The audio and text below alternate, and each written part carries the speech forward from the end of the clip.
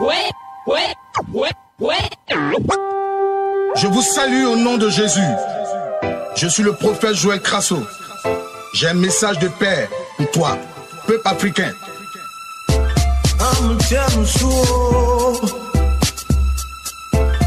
Jésus.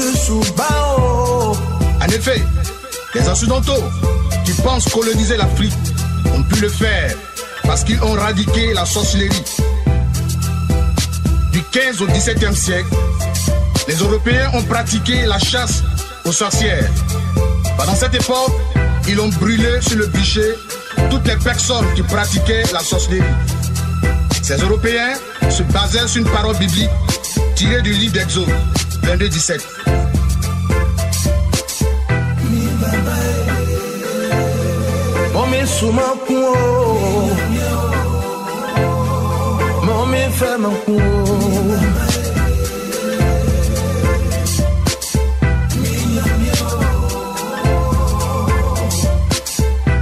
Aujourd'hui, le mal de l'Afrique, c'est la sorcellerie.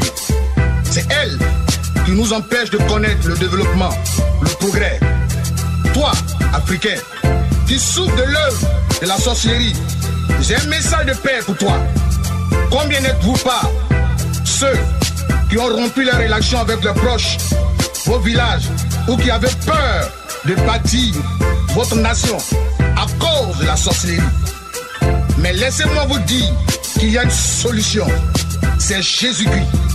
Lui seul peut te délivrer des œuvres de la sorcellerie. À méditer. 1 Jean 3, le verset 8.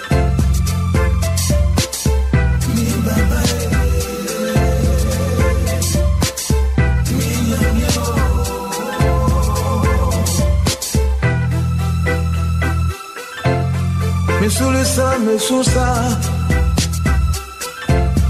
Musulube sumbeo Ungoli srakalo Blame kundele mbeo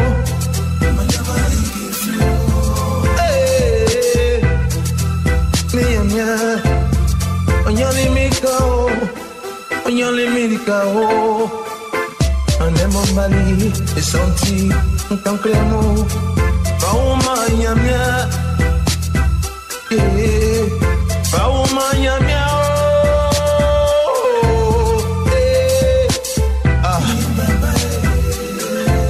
Menga mo Yesu dile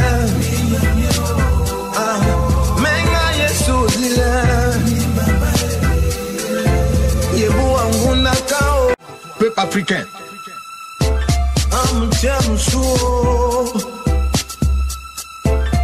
Jésus sous bao en effet, les Occidentaux qui pensent coloniser l'Afrique ont pu le faire parce qu'ils ont radiqué la sorcellerie. Du 15 au 17e siècle, les Européens ont pratiqué la chasse aux sorcières. Pendant cette époque, ils ont brûlé sur le bûcher toutes les personnes qui pratiquaient la sorcellerie. Ces Européens se basaient sur une parole biblique tirée du livre d'Exode 22-17.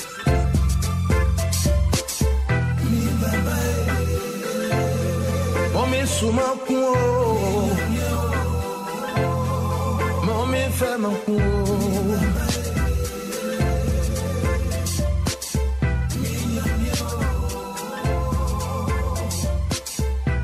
Aujourd'hui, le mal de l'Afrique, c'est la sorcellerie.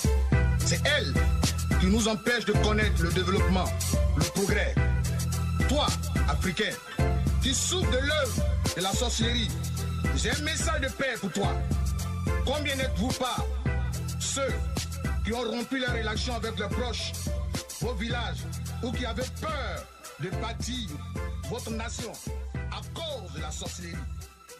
Mais laissez-moi vous dire qu'il y a une solution. C'est Jésus-Christ. Lui seul